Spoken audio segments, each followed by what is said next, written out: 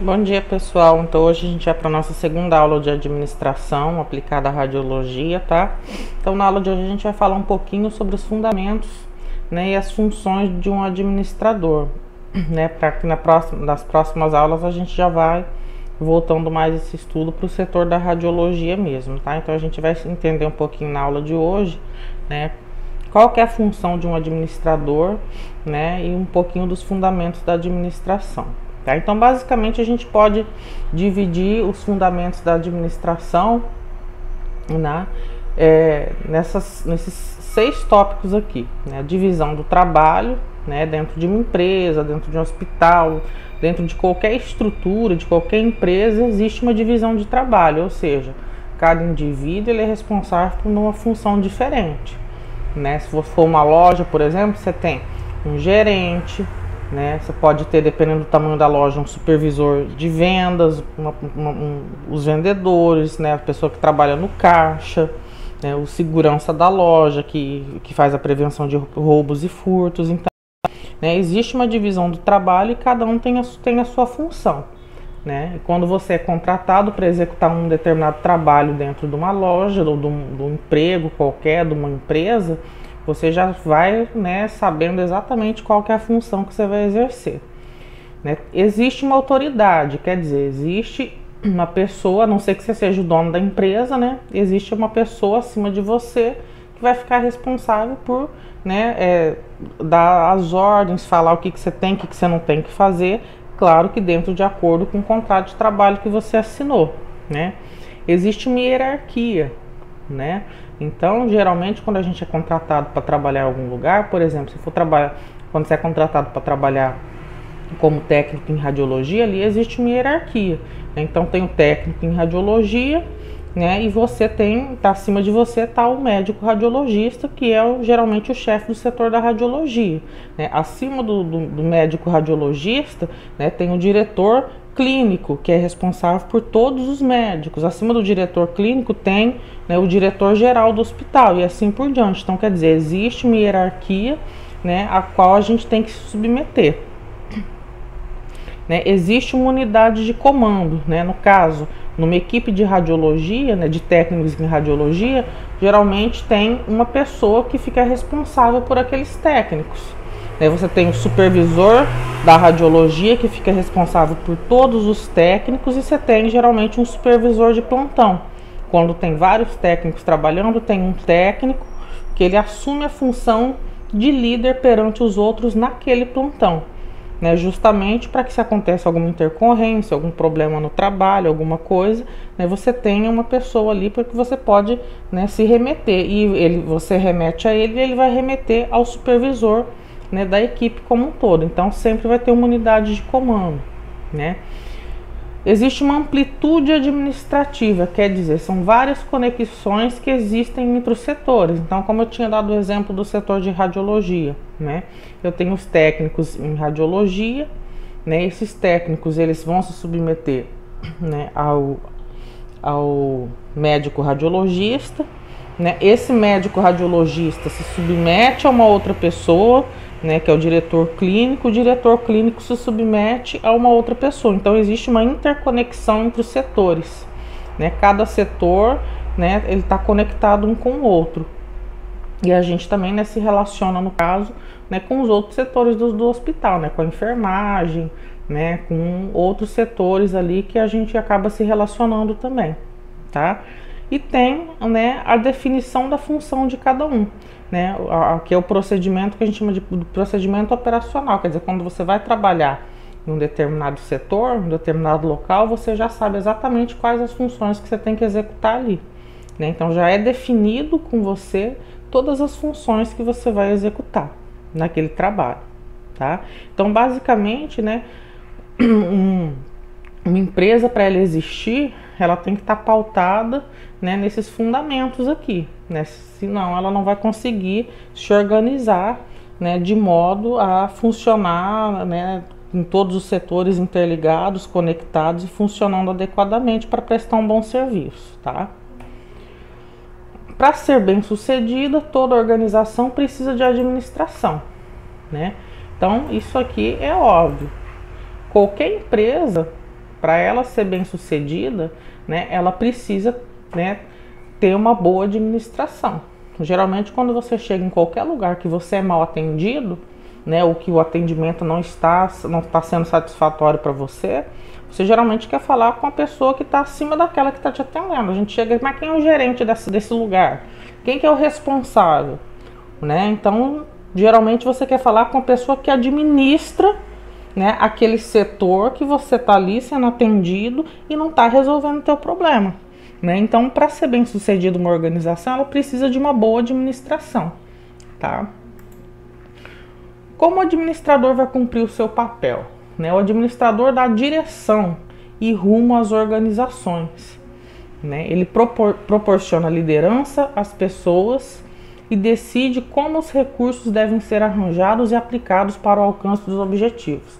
Quando a gente fala de recursos, gente, a gente não está falando de dinheiro apenas, não, tá? Quando eu falo de recurso, eu estou falando de tudo que está envolvido naquele processo, né? O recurso pode ser os profissionais que ele tem à disposição dele, por exemplo, né?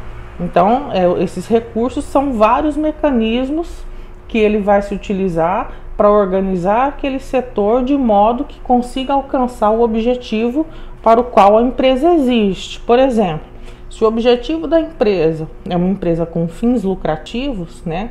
Não é uma empresa que foi criada para fazer caridade, né? Que é, ele existe só para só para se manter mesmo. Geralmente a gente quando a gente vai trabalhar no hospital, né? Os hospitais eles são, é, quando eu estou falando de hospital particular, é óbvio, né? Quando eu estou falando de hospital particular, o objetivo de um hospital particular é lucro. Né? Ele não está ali para fazer caridade nem para ser bonzinho com ninguém, ele quer lucro. Então, o, o, bom administrador ele tem que organizar os setores, né? liderar as equipes, organizar as pessoas né? e utilizar de todos os recursos que ele tem à disposição dele para alcançar o objetivo desse local, que no caso né, de um hospital particular é o lucro. Ninguém está ali para fazer caridade. Né? Então, geralmente funciona assim, né? Se o, se o determinado funcionário ele não está dando lucro, ele está dando prejuízo para o hospital, o que, que eles vão fazer? Se for no hospital particular, vão mandar a pessoa, vão demitir a pessoa e vão contratar outra para exercer a função dele. Né? Então, o bom administrador ele sempre vai né, dar uma direção, vai dar um rumo para a empresa, vai liderar um grupo de pessoas, né, vai organizar os recursos para ele poder atingir o objetivo daquela empresa. A empresa privada ela existe para gerar lucro, tá? Então tudo que acontece ali, né, tudo que o administrador fizer, vai ter que no, na ponta gerar um, algum tipo de lucro, tá? Administrar envolve a elaboração de planos, relatórios, projetos, laudos, organização, execução, análise, custo. Né? Administrar não é fácil, ela envolve muita coisa, por isso que né, uma pessoa para ela ser um administrador, ela, ela passa por uma faculdade, ela estuda, né, justamente porque é, comple é complexa, é uma atividade bem complexa. Né? Se você pular uma dessas etapas, né, se você não planejar a atividade que você vai executar, a chance que você tem de fracassar é enorme. Né? Se você não monta projeto, né, se você não organiza, não se organiza, não, não consegue executar corretamente, qualquer uma dessas etapas aqui que você falhar, você acaba não conseguindo atingir o objetivo final.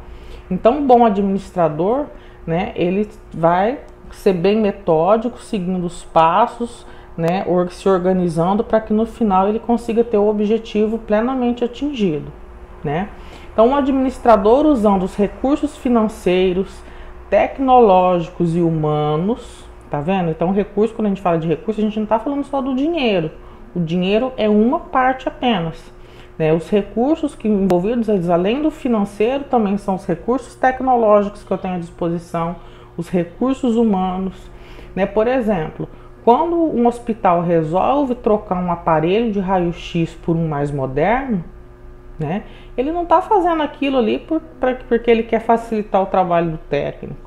Ele não está fazendo aquilo ali porque ele quer ser bonzinho, não. Ele está fazendo aquilo ali porque já foi feito todo um planejamento pelo administrador, né? Já foi feito toda uma análise de quanto de lucro que aquele aparelho vai gerar, já foi feito todo um estudo disso, já foi feito um estudo de quanto vai custar aquele equipamento, de quanto tempo aquele hospital vai vai reaver o que ele investiu naquele equipamento e quanto de lucro esse equipamento vai gerar. Então, o bom administrador ele faz toda essa análise e aí ele fala: olha, vamos trocar aquele aparelho de raio-x ali por um aparelho mais moderno, porque em tantos meses a gente vai passar a ter lucro de tanto. Né? Então, é dessa forma que geralmente né, o bom administrador ele acaba conseguindo fazer com que a empresa né, gere cada vez mais lucro. Então, o administrador ele vai usar os recursos financeiros para adquirir um equipamento né? E esse equipamento ele vai acabar gerando um lucro no final para a empresa também, né? Então ele também vai administrar os recursos humanos que estão envolvidos nisso, no caso do nosso setor, né, o técnico em radiologia.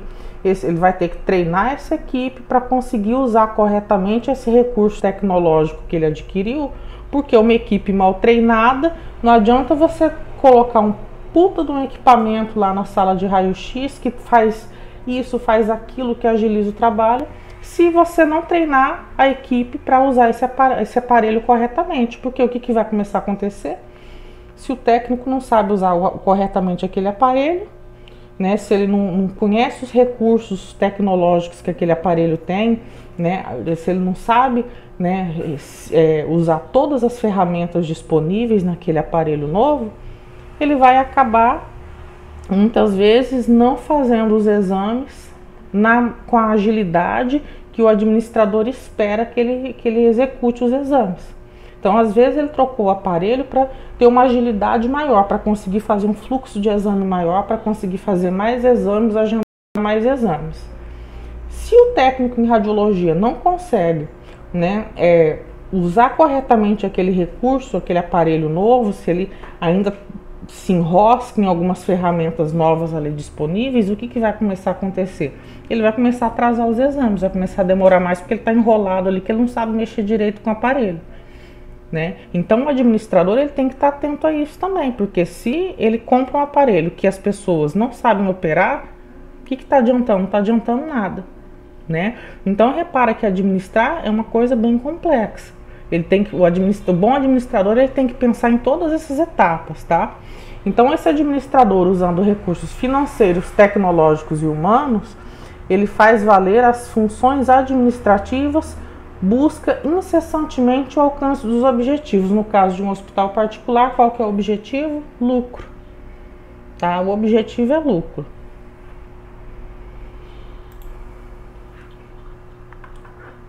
qualquer trabalho que a gente execute, qualquer atividade que a gente faça, até na nossa vida pessoal mesmo, né? É importante que a gente consiga aplicar esses conceitos de eficiência e eficácia, né? O que, que é eficiência? A eficiência significa fazer bem e corretamente as coisas. O trabalho eficiente é um trabalho bem executado. Então, quer dizer, como é que um técnico em radiologia, radiologia trabalha com eficiência? quando ele faz o exame bem feito e não precisa repetir o exame. Isso é eficiência. Ele foi lá, né, o exame é um raio-x de tórax, ele fez raio, as duas incidências, né, o PA e o perfil, e não precisou repetir nenhuma incidência. Então ele trabalhou com eficiência. Ele executou o trabalho dele bem executado. Se eu coloco um técnico ali que vai ter que ficar repetindo o exame, né, o que, que vai começar a acontecer? Está desperdiçando recurso, desperdiçando tempo, está fazendo o paciente perder o tempo dele, está gastando mais energia elétrica, está gastando, está desgastando mais o equipamento porque está dando, disparando mais X, né? Está atrasando o andamento dos outros exames dos outros pacientes que está esperando lá fora, né? Então repara que a eficiência ela vai influenciar, né, no, no da qualidade do trabalho do técnico. Um técnico que trabalha com eficiência é aquele que faz o trabalho bem feito, é aquele que não precisa estar toda hora repetindo um exame. Isso é eficiência. A eficácia significa atingir os objetivos e resultados. Um trabalho eficaz é um trabalho proveitoso e bem sucedido. Né? Então, o que é um trabalho bem sucedido para um técnico? Ele fez o exame sem precisar repetir o exame e fez o exame com a qualidade necessária para o médico dar o diagnóstico dele, do paciente. Né? Ele quer dizer, ele fez um trabalho com eficiência, que foi um exame sem repetição, né? E ao mesmo tempo ele fez um trabalho bem sucedido. Né? Ele, ele fez um, uma, uma, imagem de qualidade a ponto de um médico ser capaz de analisar aquela imagem, naquela imagem e dar o diagnóstico correto para o paciente. Então, eficiência e eficácia juntas, elas vão dar qualidade né, para o teu trabalho, qualidade para o teu exame. Né? Então, quer dizer, você vai ser visto como aquele profissional né, que faz os exames corretamente, bem feito e, e, que são exames que no final vai resultar na qualidade do seu exame. Quer dizer, você vai ser visto como um profissional que trabalha corretamente, né? um profissional que, que produz imagens de qualidade. Né? Então, a eficiência junto com a eficácia sempre vai produzir um trabalho de, de, de qualidade. Tá? Toda administração ela envolve esses quatro processos aqui tá? Planejamento, tá? Controle, organização e direção, tá? Esses quatro pontos aqui, qualquer coisa que você vai administrar, inclusive a sua vida pessoal, esses quatro aspectos aqui, eles estão sempre envolvidos. Né? O planejamento, controle, organização e direção, tá? Que, que é o planejamento? Planejamento é quando você para para definir os objetivos que você quer atingir, né? Então, quais são os objetivos que você quer atingir? Você vai parar e vai pensar: bom, meu objetivo é, é esse aqui. Né? Como é que eu vou alcançar esse objetivo? Né? Eu tenho que programar de quem, como e quando, né? Eu vou conseguir chegar naquele objetivo que eu tracei. Por exemplo, né? O seu objetivo é terminar o curso técnico em radiologia. Para terminar esse curso técnico em radiologia, você tem que definir com, quais os meios que você vai usar, vai usar para alcançá-lo. O primeiro detalhe é o que? Você ter dinheiro para pagar mensalidade. Se você não tiver o dinheiro para pagar mensalidade, você não consegue alcançar seu objetivo, que é ser técnico em radiologia, porque é um curso pago. Né? Então, quando a gente faz um planejamento, eu quero ser técnico em radiologia. Adianta eu só querer definir só o meu objetivo? Meu objetivo aqui no caso é ser técnico em radiologia. Né? Mas se eu não planejar como é que eu vou ter o dinheiro para pagar esse curso, eu não vou conseguir alcançar esse objetivo que é ser técnico em radiologia. Né? E no final eu tenho que me programar. Como, quando, quer dizer, eu vou ter os dias disponíveis para estudar, para fazer esse curso, né? Quando que eu terei esse tempo disponível? Então, repara que o planejamento, eu traço um objetivo e eu vou também traçar as formas pelas quais eu vou, vou alcançar aquele objetivo. Eu tenho que me planejar, tá? Depois que eu planejei, né? Eu tenho que organizar a minha vida né? Definir recursos, alocação de recursos em, aqui no caso, órgãos e pessoas, né? Alocação dos recursos em órgãos e pessoas, estruturação dos órgãos, atribuição de autoridade e responsabilidade. No nosso caso, né, quando você decide ser técnico em radiologia, que você foi lá, definiu o seu objetivo, definiu de que forma que você vai alcançar esse objetivo, definiu, né, como, é, quais são os dias que você tem disponível para estudar e você vai começar a se organizar, né? Bom, eu tenho esse dinheiro para pagar o curso, né? Aí você tem que definir, né, do seu salário quanto que você vai usar para pagar o curso e quanto que você vai usar para pagar as outras coisas da sua da sua rotina diária, né? Quanto que você vai usar para gastar, por exemplo, com transporte para chegar até no curso, que você não vai, se você vai ter que ir de ônibus, se dá para você ir andando, se você vai ter que gastar com combustível do carro, né? Isso tudo você tem que organizar também. Porque não adianta você ter só o dinheiro para pagar a parcela do curso. Você tem que ter o dinheiro para você se deslocar até lá. Então você precisa se organizar nisso. Né? Então você vai ter gasto, aqui no caso, tá, como está falando de empresa, está falando de órgãos e pessoas, mas você vai ter que alocar recursos, por exemplo, para você imprimir as apostilas do curso, para você comprar livro, para você estudar, os cader o caderno que você vai usar, a caneta que você vai usar no curso, tudo isso você está organizando como é que você vai atingir esse objetivo que você traçou aqui no planejamento, tá? E aí, é, essa organização que a gente vai traçando, ela está diretamente vinculada ao planejamento. Então, depois que eu planejo, eu preciso me organizar. De que forma que eu vou atingir esse planejamento todo que eu tracei, né? Depois tem a parte da direção. O que, que é a direção? A direção é aquela pessoa numa empresa, no caso, que vai é, determinar o preenchimento dos cargos, né? Como é que vai ser essa comunicação, a liderança dentro da empresa? Né? como é que vai ser a motivação das pessoas, né? o direcion, direcionamento rumo aos objetivos. Então, quer dizer, a pessoa que está administrando, ela tem que pensar nisso aqui tudo. Como é que ela vai preencher esses cargos? Quais são esses cargos? Como é que ela vai preencher esses cargos? Né? Como é que ela vai se comunicar com essa equipe? Como é que ela vai liderar essa equipe? Como é que ela vai motivar as pessoas? Porque uma pessoa que trabalha desmotivada numa empresa, ela afunda um setor. Quando você tem um trabalho num setor que tem aquela pessoa, aquele colega seu que toda hora vem, poxa, cara, não aguento mais trabalhar nesse lugar, tô de saco cheio disso aqui já. Ah, a gente ganha muito pouco, porque fulano não faz nada e ganha a mesma coisa que a gente.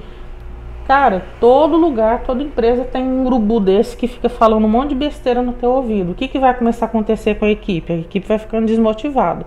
Uma equipe desmotivada não, não alcança os objetivos que a empresa traçou. Então o administrador ele tem que estar de olho nisso aqui também. Motivação das pessoas. Muitas vezes uma equipe motivada, que trabalha satisfeita, que trabalha feliz, né? Ela não estou falando que ela precisa ganhar muito, não, porque às vezes, gente, o salário final ele é apenas uma das partes do, do, do envolvida no processo. Às vezes você não precisa ganhar o maior salário da categoria.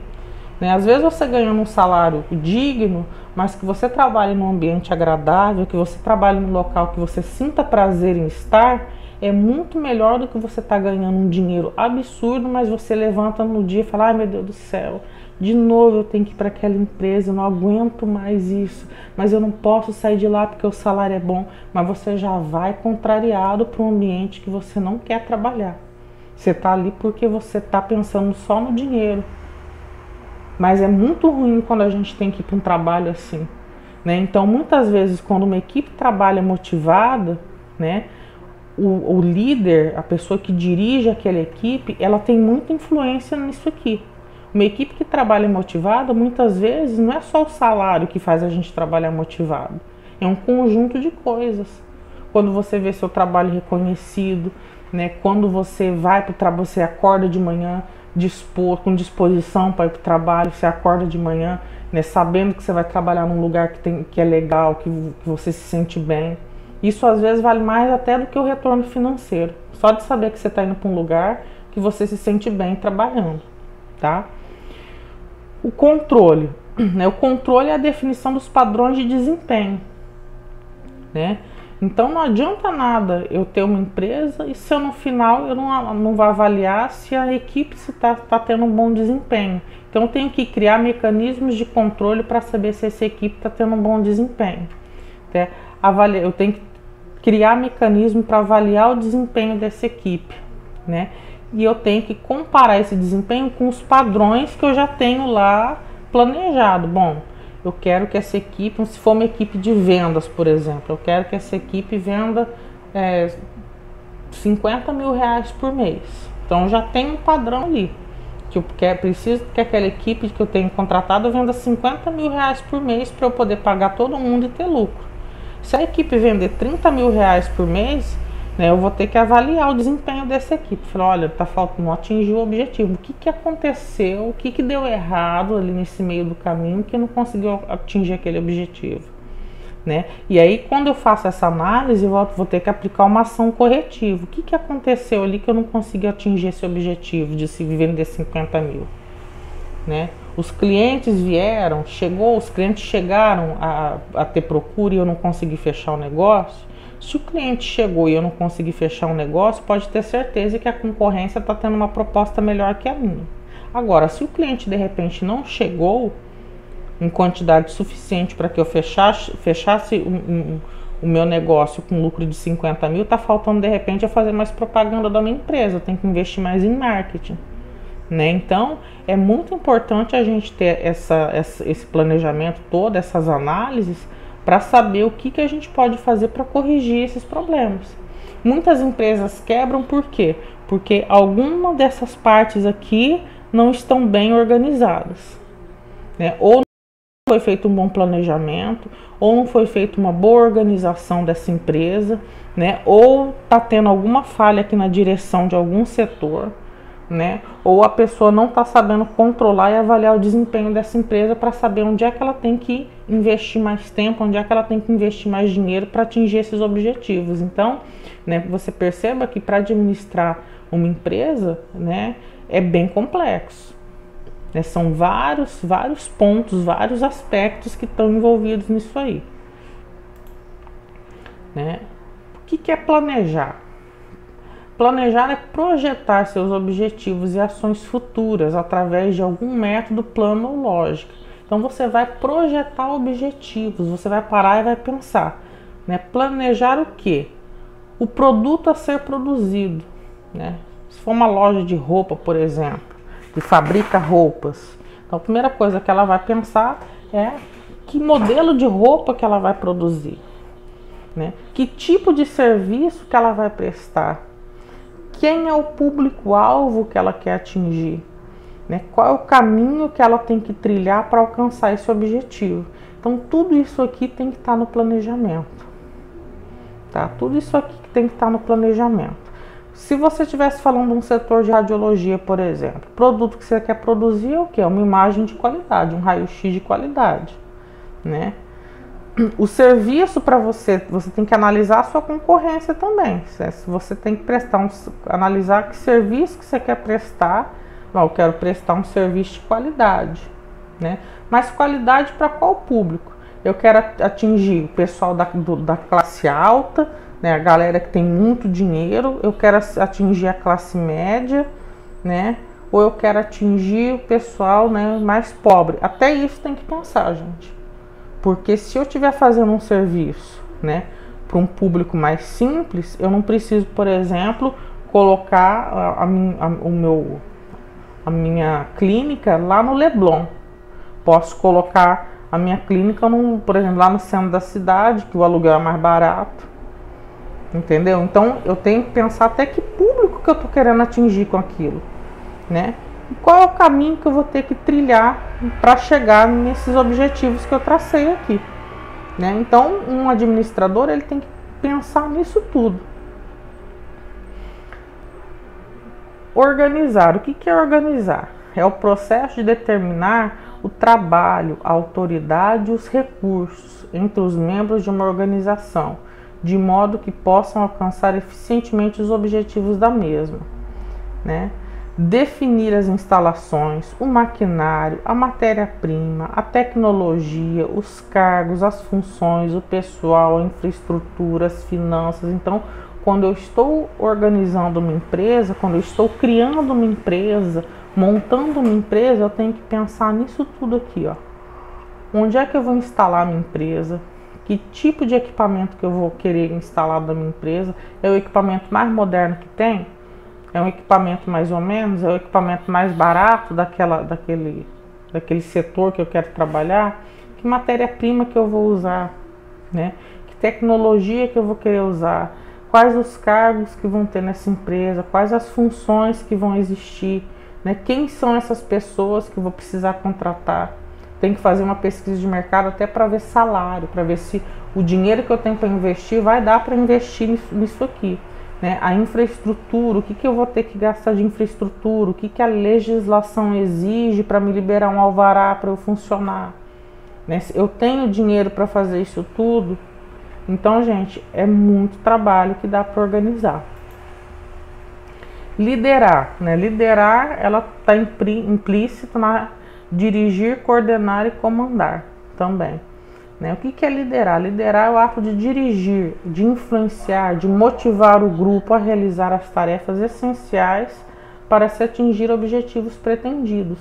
Então, é, o, líder é diferente de um chefe. Tá? O líder é aquela pessoa né, que a equipe vê né, como alguém que está ali para comandar aquele grupo, mas de uma forma harmoniosa, vamos dizer assim, de uma forma onde as pessoas se sintam incluídas naquilo ali. O chefe é aquele cara chato que chega, fulano, faz isso, e ele fica sentado lá sem fazer porra nenhuma, e muitas vezes ele manda você fazer e não sabe executar o serviço que ele está mandando você fazer. Então ele não consegue nem avaliar se o funcionário está fazendo direito ou não. Né? O líder ele é aquele que conhece muito bem a equipe, conhece as pessoas, né? Sabe muito bem quais são os objetivos que aquela equipe precisa atingir e ele motiva o grupo todo para realizar aquelas tarefas. As pessoas, quando elas estão sendo lideradas por um bom líder, elas trabalham satisfeitas e motivadas. E isso gera lucro para a empresa, tá? Quais são, né? Então, quem é que geralmente lidera as equipes? O gerente de produção, chefe de montagem, diretor de marketing, supervisor de área, presidente de corporação, vice-presidente de logística. Tem vários cargos, né, de chefia, né, de liderança dentro de uma empresa. Se a gente estiver falando de um hospital do setor de radiologia, né, a gente tem o super, supervisor, de, supervisor de radiologia, né, a gente tem o médico radiologia o médico radiologista, que geralmente é o chefe do, do setor todo, né, que a equipe se, se né, tem que se sujeitar às ordens do médico radiologista. Se é um médico radiologista que está ali integrado com a equipe, né, todo mundo sempre trabalha bem. Agora, se é aquele médico que está sempre dando coice, dando patada em todo mundo, humilhando todo mundo, já é um cara que a gente às vezes já vai trabalhar e já não vai se sentir tão confortável em trabalhar com ele. Né? Mas infelizmente tem gente de todas as formas, né? Mas geralmente um bom líder é aquele que consegue se fazer ouvir, que, que ouve a sua equipe, que motiva o grupo a realizar as tarefas, né, para atingir os objetivos que a empresa determina, tá? Controlar. O que, que é controlar? É certificar-se de que os atos dos membros da organização levam-no de fato em direção aos objetivos estabelecidos, né? Então quer dizer, ele está verificando se aqueles objetivos que eu tracei lá no planejamento, né, se realmente eles estão sendo atingidos com todos os métodos que estão sendo aplicados ao longo, ao longo de todo o processo. Né? Então, o volume produzido, por exemplo, a quantidade que foi vendida, o grau de satisfação do cliente, a qualidade de vida dos colaboradores, a lucratividade do negócio. Um bom, um bom administrador ele fica atento a todos esses detalhes, né? porque foi como eu falei, se o trabalhador ele não está satisfeito com alguma coisa, né? o funcionário não está satisfeito com alguma coisa, vocês podem ter certeza que vai influenciar negativamente aqui na lucratividade do negócio um negócio passa a lucrar menos, porque um funcionário insatisfeito ele atende mal os clientes. Né? E quando o funcionário está insatisfeito, atende mal o cliente, o cliente geralmente faz o quê? Nunca mais pisa naquele lugar. Então a empresa tende a perder cliente, quando ela perde cliente, ela também deixa de lucrar. Né? Então muitas vezes o funcionário insatisfeito ele pode fazer com que o lucro da empresa caia significativamente. Ainda mais se existe uma equipe inteira insatisfeita, por exemplo. Aqui a gente tem um exemplo de uma pirâmide de, de hierarquização, tá? Então a gente tem aqui um, né, um, seria o chefe né, de todos os setores. Claro que acima dele existe um diretor geral, né, mas aqui a gente está partindo de um diretor superintendente, tá? Desse diretor super, superintendente, né, que estão subordinados a ele, é um diretor administrativo, diretor técnico, diretor de enfermagem, diretor clínico. Esses diretores todos têm que se subordinar a esse aqui. Então, né, esse aqui, ele é o chefão de todos esses quatro diretores aqui. Né? O diretor administrativo, ele vai chefiar né, a gerência de meio ambiente e a hotelaria. Tá? A gerência de meio ambiente, ela tem a parte de higienização, tem a parte da farmácia, que são setores diferentes. Cada um desses setores também vai ter um chefe. né? Na parte da hotelaria, a gente também tem o serviço de nutrição incluso. Então, a hotelaria tem um líder, a nutrição tem outro. Então, vocês reparem que vai havendo uma subdivisão e dentro dessas subdivisões a gente tem equipes que trabalham e tem líder dentro dessas equipes também, tá? E a gente tem o, setor de RH, que é quem vai fazer a contratação né, de pessoas, que vai fazer também a rescisão de contratos, o diretor técnico, a direção técnica, né, que ela vai ficar responsável pela parte dos equipamentos, né, de controle dos equipamentos dentro do hospital, tá? O diretor de enfermagem, que vai ficar responsável pelas equipes de enfermagem. Nós temos várias equipes de enfermagem dentro do hospital, né? Tem as, as equipes que trabalham em vários CTIs diferentes, cada equipe tem um líder diferente. Então, né, é bem complexo essa grade. Aqui a gente colocou de uma forma bem resumida. Tem o diretor clínico, o diretor clínico é responsável por todos os médicos do hospital, de todas as especialidades, né? Então, se tiver clínico geral, pediatra, médico radiologista, cardiologista, todo mundo, né, se submete às ordens de um diretor clínico, tá? Então, é, isso é para a gente entender que existe uma hierarquia, né? Existe uma hierarquia dentro de, de um ambiente de hospital, como existe uma hierarquia dentro de qualquer outra empresa. E a gente tem que estar atento a essa hierarquia. Né? A gente tem que, enquanto profissional, né, é, entender quem que é o nosso chefe imediato. A gente tem que saber exatamente se der algum problema no nosso plantão, para quem é que a gente tem que informar que está dando aquele problema. Né? Quem é que a gente tem que procurar? Quem a gente procura em caso de acontecer algum problema dentro do nosso setor? Né? Então a gente vai procurar né, o responsável imediato ali por, por, pela equipe. Então, um bom, um bom administrador, né, ele tem conhecimento, né? Que conhecimento? Né, de saber informação, atualização e sempre participa de uma reciclagem constante. Então, um bom administrador ele está sempre estudando, ele está sempre não estudando só conhecimentos teóricos, lendo livro, nada disso, mas ele está sempre buscando informações de mercado, buscando informações da sua própria equipe, colhendo informação. Ele está sempre atualizado de tudo que está acontecendo, tá? É o cara que está em constante né, estudo, em constante reinvenção de, de conhecimentos, porque se for aquele cara que fez uma faculdade, né, conseguir um emprego na área de administração, sentar lá e nunca mais se atualizar, o mercado vai engolir ele rapidinho, a concorrência. E rapidinho ele vai perder o emprego. Né? Então, um bom administrador ele está sempre buscando novos conhecimentos, tá? Um bom administrador ele tem sempre está buscando uma perspectiva, ele sempre ele sabe fazer, né? Visão pessoal das coisas, maneira prática de aplicar o conhecimento na solução de problemas e situações. Então ele, tá, ele sabe como é que tem que fazer. Ele não é aquele cara que fica sentado dando ordem, né? E às vezes dá umas ordens tão absurdas que a gente fala, cara, esse cara não sabe nem o que, que ele está mandando a gente fazer. Por quê? Esse tipo de cara é aquele cara que não, não conhece o processo. O cara que dá uma ordem para você, que você mentalmente ou às vezes até em, em palavra fala para ele, cara, mas não tem como fazer tal coisa. É um cara que não tem conhecimento. Ele está mandando fazer uma coisa que ele não, que ele não, não, não tem, ele desconhece. E quando a pessoa administra dessa forma, gente, não tem como nada dar certo. Não tem como a empresa ter um lucro, não tem como uma empresa ir para frente com uma pessoa de, nessa situação, dessa forma, é, ocupando um posto de liderança, né? Tá? Não tem como. Então, um bom administrador ele sabe exatamente o que fazer. Né? Ele conhece todo o processo de maneira prática, ele sabe como fazer, ele conhece as soluções, ele sabe solucionar os problemas. Né? Um verdadeiro administrador ele tem atitude, ele sabe fazer acontecer, ele tem um comportamento ativo e proativo, ele toma frente, ele motiva a equipe, né?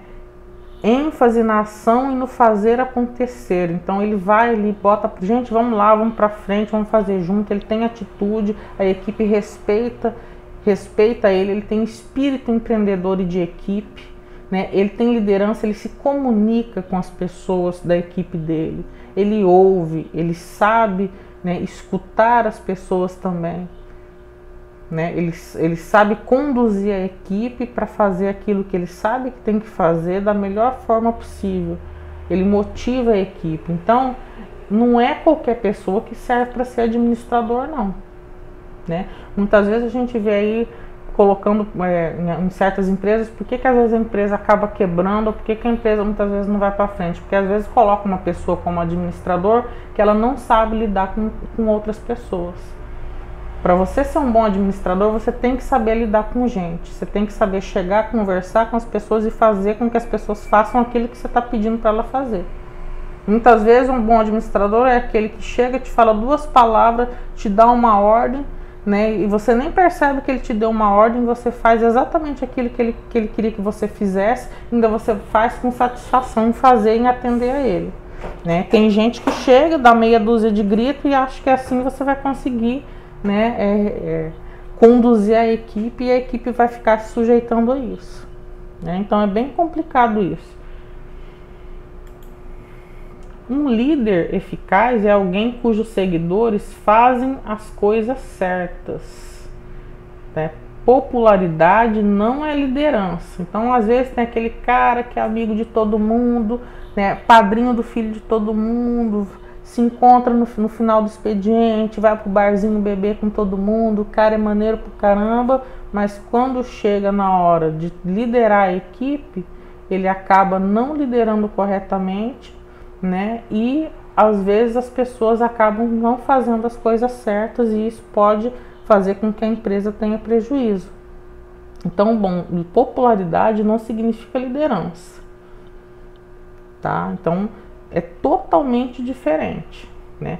Resultado sim é liderança. Que resultado? Vai depender do objetivo que você traçou, tá?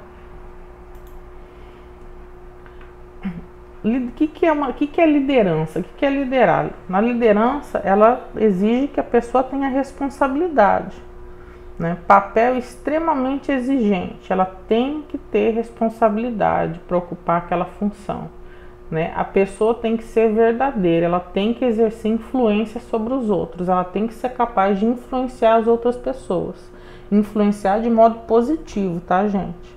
Ela tem que ser aquela pessoa que chega, conversa com uma equipe, com um grupo, a equipe confia no que aquela pessoa está falando, né? A pessoa é, sabe que aquela pessoa ali é responsável, o grupo sabe que aquela pessoa é responsável, no final acaba fazendo realmente o que, que aquela pessoa orientou para fazer. Requer uma enorme doação pessoal. Então a pessoa para ser líder, ela tem que estar tá disposta a se doar sim. Ela tem que estar tá disposta a servir, Tá? Habilidade de influenciar pessoas para trabalhar entusiasticamente visando atingir os objetivos identificados como sendo para o bem comum. Tá? Isso aqui resume o que é um bom líder. Um bom líder é aquela pessoa que tem capacidade de influenciar outras pessoas para que essas pessoas trabalhem motivadas e atinjam os objetivos né? Sempre pensando que se a empresa atinge aqueles objetivos é para o bem de todo mundo. Tem funcionário que não pensa assim. Tem funcionário que se deixar, ele vai passa a perna no patrão. Ele faz sacanagem lá com, com o patrão, porque às vezes ele está insatisfeito com aquela liderança, com o chefe dele, ele está insatisfeito. Então ele está tão insatisfeito que ele começa a fazer as coisas erradas.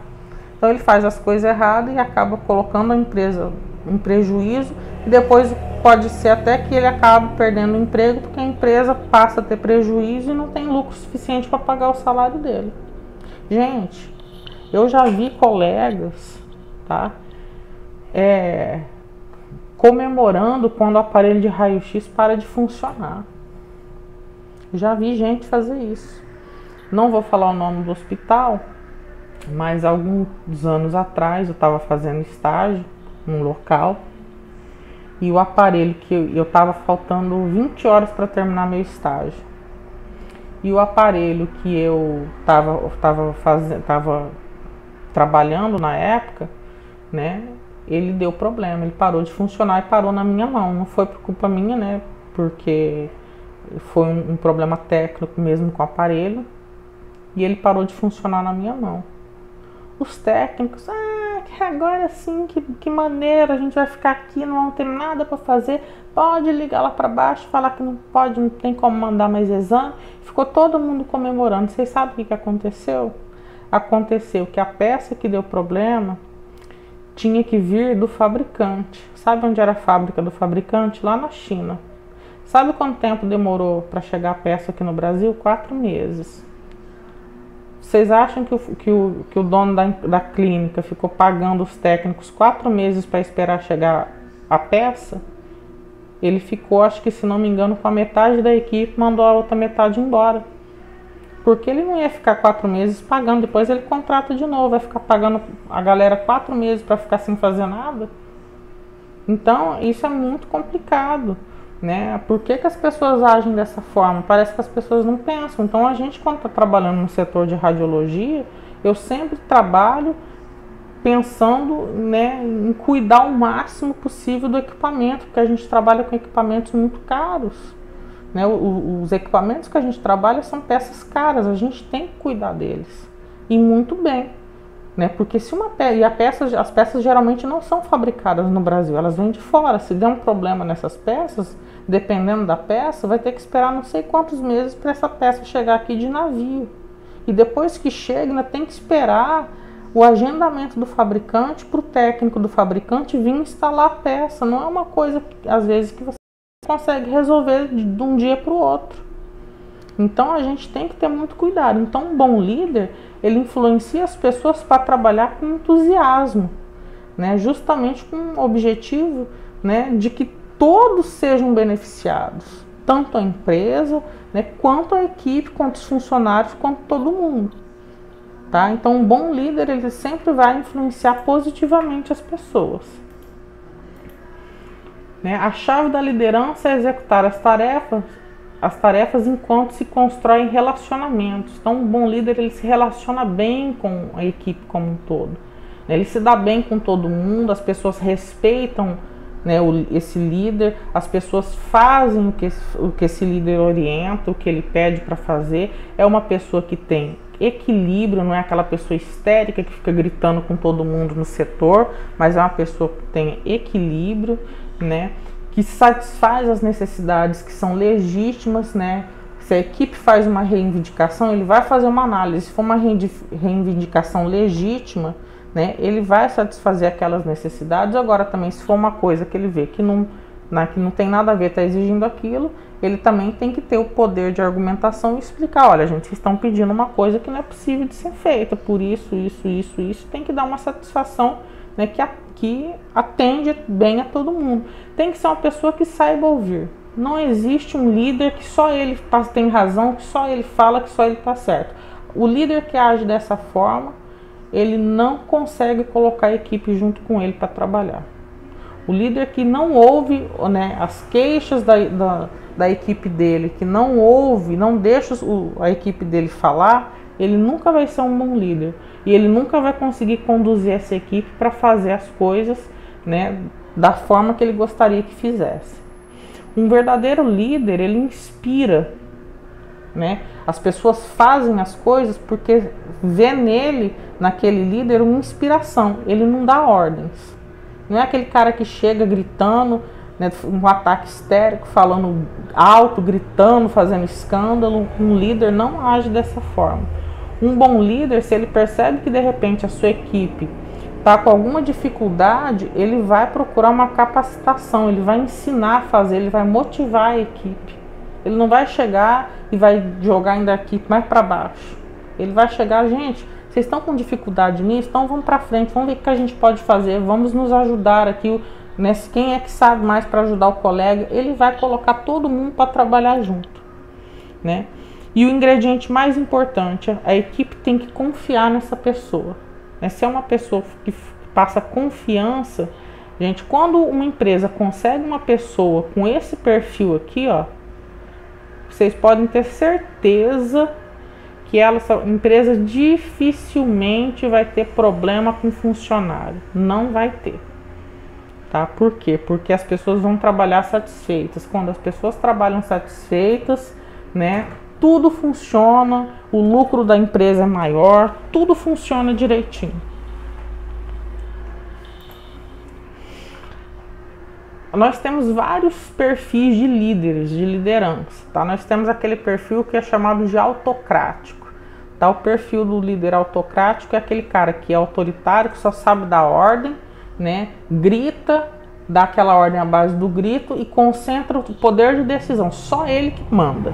Ele não escuta ninguém, ele não ouve ninguém, né? Ele se colocou numa posição ali acima de todo mundo e ele é o cancancão do pedaço, né? Esse tipo de, de chefe não é o que as empresas hoje em dia querem, não é o perfil profissional que, que as pessoas querem hoje dentro das suas empresas, tá?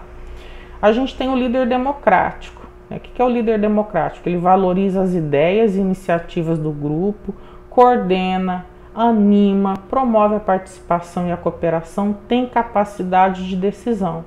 Né? Então, quer dizer, repara que aqui, ó, no líder autocrático, a ordem parte de um ponto para o outro e não tem o retorno. No democrático, repara que tem o líder, os funcionários que são as bolinhas azuis menores e repara a flechinha indo e voltando. Então, quer dizer, há uma troca de ideias, de experiência, a conversa nessa equipe. Quando isso acontece, tá? Quando acontece esse essa conversa entre equipe, né?